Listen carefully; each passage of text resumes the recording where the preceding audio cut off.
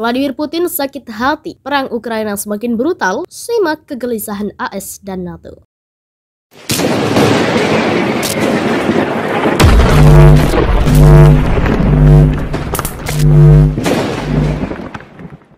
Amerika Serikat dan negara-negara NATO mulai mengkhawatirkan ego Presiden Rusia Vladimir Putin. Mereka khawatir Putin akan sakit hati atas bantuan persenjataan dan kemanusiaan ke Ukraina. Dilansir AP Selasa 10 Mei 2022, Vladimir Putin berpotensi sakit hati sehingga akan melanjutkan perang mematikan di Ukraina. Rusia gagal merebut ibu kota Kiev dan bulan lalu mengatakan akan memfokuskan upayanya di Ukraina Timur dan Selatan. Para pejabat keamanan telah memperingatkan perang yang sudah mematikan itu akan terus menjadi semakin brutal, khususnya saat Putin berusaha mencaplok wilayah-wilayah di sepanjang garis pantai Laut Hitam Ukraina. Bahkan Presiden AS Joe Biden mengatakan dia khawatir Putin tidak memiliki jalan keluar sehingga akan melanjutkan perang brutalnya dalam upaya menyelamatkan mukanya di dalam negeri. Saya mencoba untuk mencari tahu apa yang kita lakukan tentang tentang itu. Katanya saat berbicara dalam penggalangan dana politik lapor Reuters. Ketegangan Rusia dan Ukraina masih terus bergulir. Tak hanya Ukraina, banyak bahkan kini meluas hingga ke beberapa negara Eropa lainnya, khususnya negara-negara yang tergabung dalam NATO.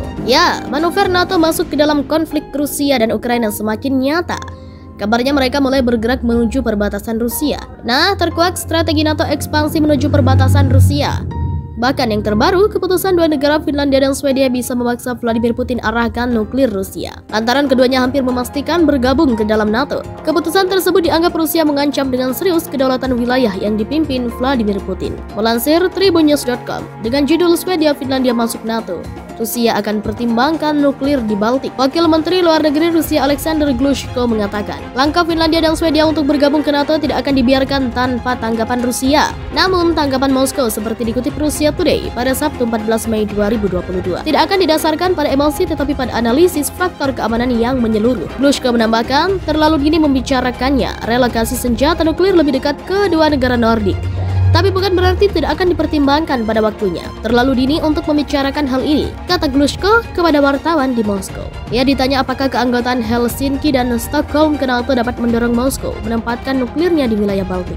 Baik Finlandia dan Swedia tetap berada di luar NATO selama Perang Dingin sebagai negara netral di Eropa Utara. Tapi pemerintah negara-negara itu mempertimbangkan kembali sikap mereka setelah Rusia meluncurkan operasi militer khusus ke Ukraina akhir Februari. Laporan media mengklaim Helsinki dan Stockholm dapat mengajukan permohonan masuk blok militer pimpinan AS dalam beberapa hari mendatang. Glushko menunjukkan jika Finlandia dan Swedia masuk NATO, kedua negara benar-benar menyerah pada status nuklir mereka. Negara-negara itu akan berpartisipasi dalam kelompok perencanaan nuklir NATO, kata Glushko sembari menyebutkan selama beberapa dekade Swedia dan Finlandia mendorong non-proliferasi dan penghancuran senjata semacam itu. Ekspansi NATO menuju perbatasan Rusia dipandang sebagai ancaman besar oleh Moskow. Penambahan anggota baru jika itu terjadi akan ditanggapi balasan yang tepat oleh Moskow. Tindakan balasan tersebut tidak akan emosional, tetapi berdasarkan analisis menyeluruh dan terkalibrasi dari semua faktor yang mempengaruhi situasi keamanan di kawasan itu. Rusia tidak melihat alasan apa pun bagi Finlandia dan Swedia untuk masuk ke anggotaan NATO karena Rusia tidak memiliki niat bermusuhan ke negara-negara tersebut.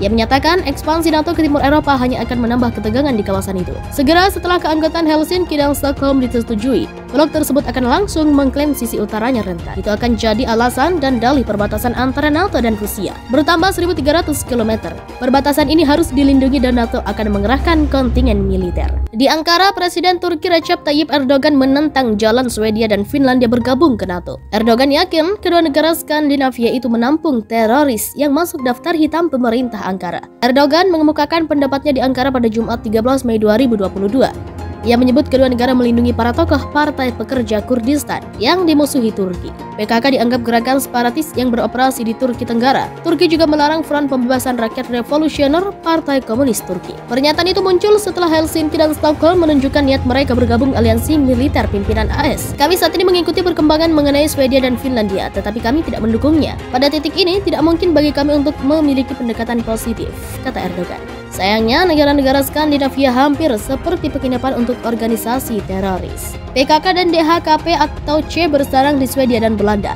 Saya melangkah lebih jauh di parlemen mereka, tambahnya. Pada April, prihatin dengan aksi militer Rusia di Ukraina, Swedia dan Finlandia mulai mempertimbangkan untuk menjatuhkan status netral mereka dan bergabung dengan NATO. Pejabat tinggi Finlandia telah mendukung inisiatif tersebut. Swedia akan memutuskan aksesi ke blok militer pada 15 Mei. Sebelumnya, Sekretaris Jenderal NATO Jens Stoltenberg menegaskan kembali organisasi yang dipimpin AS akan bersemangat memasukkan kedua negara dan akan membuat proses penerimaan cepat. Moskow telah berulang kali menyatakan bahwa mereka menganggap perluasan NATO sebagai ancaman terhadap keamanan nasionalnya. Sebagai negara netral di Eropa Utara, tapi pemerintah negara-negara itu mempertimbangkan kembali sikap mereka setelah Rusia meluncurkan operasi militer khusus ke Ukraina akhir Februari. Laporan media mengklaim Helsinki dan Stockholm dapat mengajukan permohonan masuk blok militer pimpinan AS dalam beberapa hari mendatang. Glushko menunjukkan jika Finlandia dan Swedia masuk NATO, kedua negara benar-benar menyerah pada status nuklir mereka. Negara-negara itu akan berpartisipasi dalam kelompok perencanaan nuklir NATO, kata Glushko sembari menyebutkan selama beberapa dekade Swedia dan Finlandia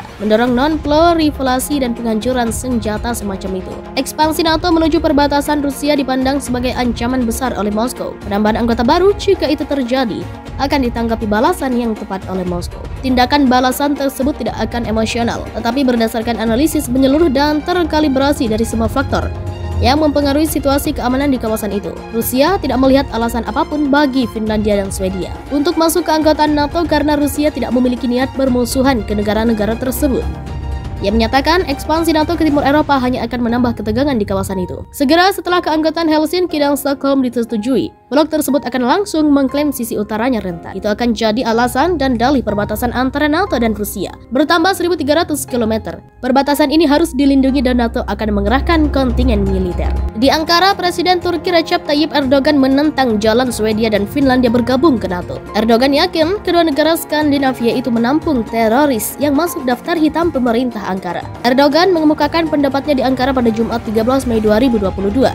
Ia menyebut kedua negara melindungi para tokoh Partai Pekerja Kurdistan yang dimusuhi Turki. PKK dianggap gerakan separatis yang beroperasi di Turki Tenggara. Turki juga melarang Front Pembebasan Rakyat Revolusioner Partai Komunis Turki. Pernyataan itu muncul setelah Helsinki dan Stockholm menunjukkan niat mereka bergabung aliansi militer pimpinan AS. Kami saat ini mengikuti perkembangan mengenai Swedia dan Finlandia, tetapi kami tidak mendukungnya. Pada titik ini, tidak mungkin bagi kami untuk memiliki pendekatan positif, kata Erdogan. Sayangnya, negara-negara Skandinavia hampir seperti penginapan untuk organisasi teroris. PKK dan DHKP atau C bersarang di Swedia dan Belanda.